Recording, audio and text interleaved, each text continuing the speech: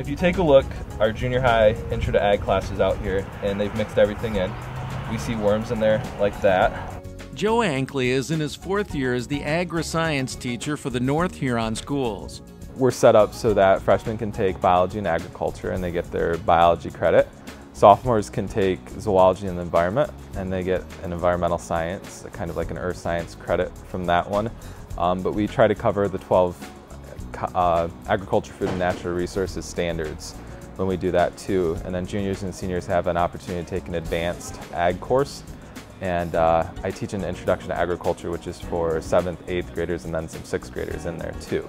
Classroom work is really interesting and it's different than any of my other classes and that's what I like about taking ag classes with him is we do a lot of hands-on stuff and it's just really enjoyable to be in his classes. It doesn't even feel like a class but we learn a lot from it. The kids, if they have me for class, are doing some type of leadership activity, whether that's a speech or a demonstration or presenting in agricultural issues.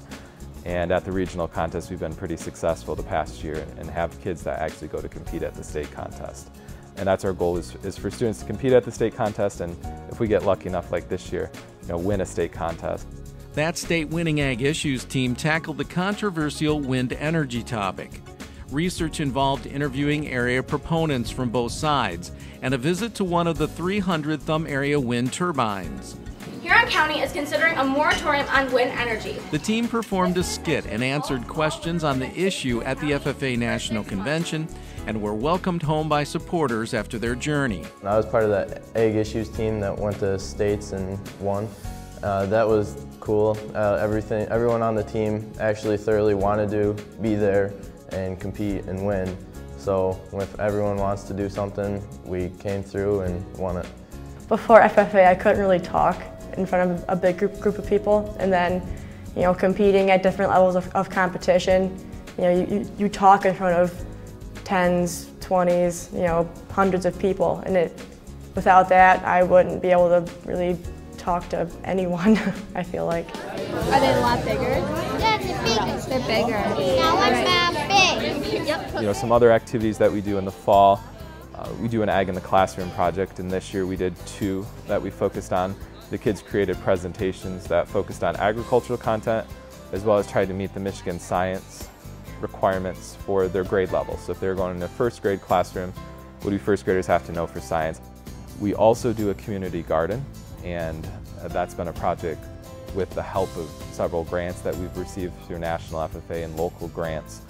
Uh, we've been able to expand our community garden from six, six beds, raised bed gardens, to 12 raised bed gardens. We work closely with the food pantry on a lot of projects.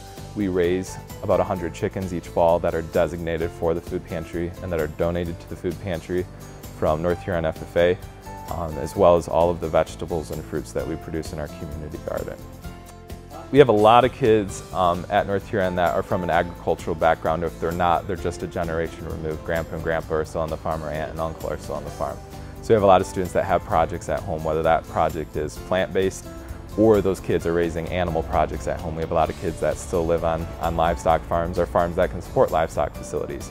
But one of my goals is to make sure that the kids that maybe don't have those opportunities have an opportunity to take an animal to fair. So we'll have, I think about 60 kids this year showing at fair um, from North Huron and those kids will have large animal projects, they'll have small animal projects. It's changed me. I used to be that shy kind of person that wouldn't get out in front and talk in front of people. And since Mr. Ankley's came, he's pushed me a lot to get me to go and participate in leadership contests. You get a lot out of, out of teaching kids, not only about agriculture, but life skills, um, skills that will take them farther in life, public speaking skills, leadership skills. For his exceptional teaching of agriculture and devotion to student development with the FFA, Joe Ankley is the 2015 Michigan Farm Bureau Agri-Science Educator of the Year.